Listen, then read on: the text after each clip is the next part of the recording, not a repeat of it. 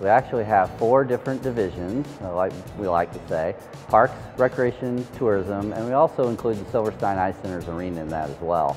So as far as the parks division, we have 41 different park sites, comprising about 854 acres throughout the city.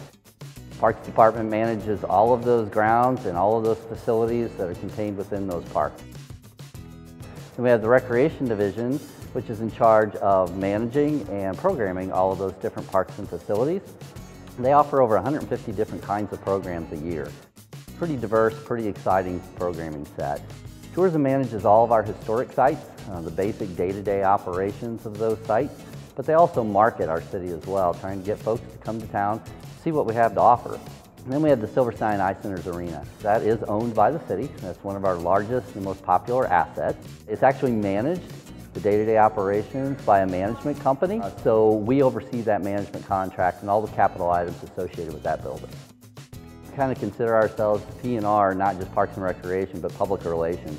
Uh, we do a lot of public interface with all of our residents and we're offering all of the programs uh, that are both keeping people entertained, healthy.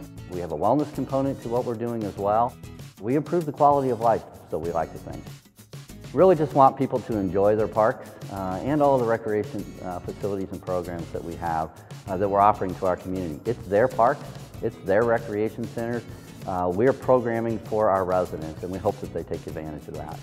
If folks want more information about the Parks, Recreation, and Tourism Department, they certainly can go to the city's website and click on our page. We have all of our facilities listed there, all of our parks, even our shelter rentals, things of that nature, so you can get all of that information there. If you want more about tourism, go to visitindependence.com. That will tell you all about our tourism sites and where to go for more information there. Even click on the special events calendar while you're there, and it will tell you all of the exciting special events and the different activities that we have coming up for people to take advantage of. For the Silverstein Eye Centers Arena, uh, go to that website as well. They also have a calendar of events there. You can get to that off of our website as well. It is one of our tabs that you can click.